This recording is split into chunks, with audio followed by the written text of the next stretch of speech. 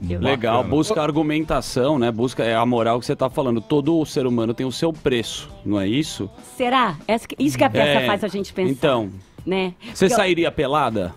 Você, Se eu sairia pelada, não. por 10 milhões. Você sabe que eu. 15. 15. Não. 30, 30 Sabe bi. trintinha. Não. Não, mas é Porque sabe que, né? não, sabe o que, que, eu acho que é louco? Que, que, que as pessoas falam muito essa coisa do, do preço, né? Eu comecei a ficar a pensar muito sobre essa questão. Eu acho que na verdade eu montei essa- essas peças, quis, a gente quis montar essas peças porque a gente, eu tenho uma angústia muito grande, porque eu sinto que essa justificativa de tudo por dinheiro, vamos combinar, não vamos ser hipócritas. Tá. Vem- nos vender todos vamos. A gente se vende, a gente precisa pagar a escola dos filhos, a Lógico. gente precisa ter o leite das crianças.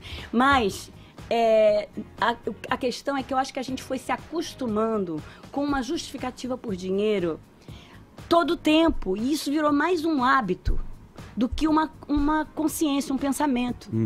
O- Eu acho que, que às vezes você. Eu vou contar uma historinha básica que meu filho virou para mim, o craque do time ia jogar na Europa, ia sair do Palmeiras para jogar na Europa. E ele pequenininho, tinha uns 8, 9, ele falou para mim assim, é, mas ma- eu explicando para ele que ele ia ganhar muito mais lá e por isso que ele ia embora. E ele falou assim, mas ele ganhava mal aqui, mamãe? é um raciocínio infantil reto, né, bonitinho. E eu falei assim, não, ele aqui já tinha dinheiro pros netos dele. mas essa questão do não poder deixar de ganhar É, o quanto é o Mesmo- suficiente, né? Exato, mesmo que Ah, comprometa a tua qual é- felicidade. É, Uhum. é. O que eu sinto é que tem gente que, amigos seus super consciente, conscientes, que vi- viram pra você e falam assim: Não, eu, sei, eu, não- eu não queria ir, mas é um dinheiro que não dá pra negar. Às vezes a vida dele tava ok.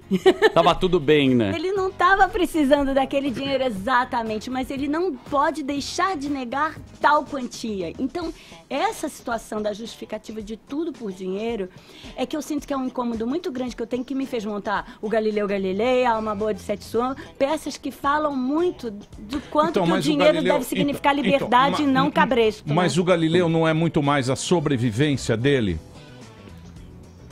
Não, a- o Galileu tem uma questão chave que é a hora que o cara falou. é, vou morrer na fogueira, né? Sim. Vou, vou- vou ser torturado. Na verdade, ele ia ser torturado primeiro. É, é, e ele fala: Não, eu nego. É pra negar tudo que eu disse? Eu nego. Vou lá e nego. E negou.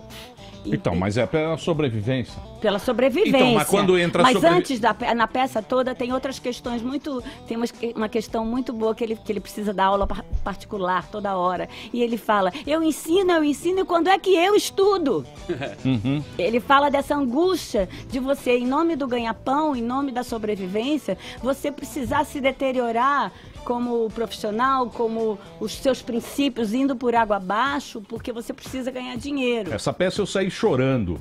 Do Sério? Galileu? Porra. É difícil Ai, você chorar. Mas por quê? Igual um bebê. Você sentiu uma pessoa porque, inadequada. porque é uma, é uma peça bacana, é o Brecht, né? Ele, é- é, ele tira a ilusão da Toca gente. no seu coração. Tira a ilusão, sabe essa ilusão que a Aham. gente tem do uh!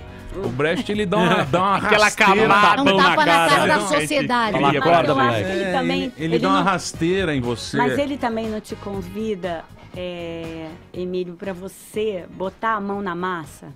Eu acho muito isso do Brecht. Aliás, o Brecht ele é muito mais é, até otimista, porque ele acredita na transformação a partir do teatro que ele faz. O do Remar até é mais pessimista, mas a gente, o Luiz fez um final brechtiano para a visita da velha senhora. Não deixa de ver essa peça. Se você assistir. gostou do Galileu, tem muito a ver, até completa, porque tem uma coisa que eu acho que o Brecht chama a gente para fazer pra gente botar a rédea na nossa vida. Você que vai fazer esse negócio.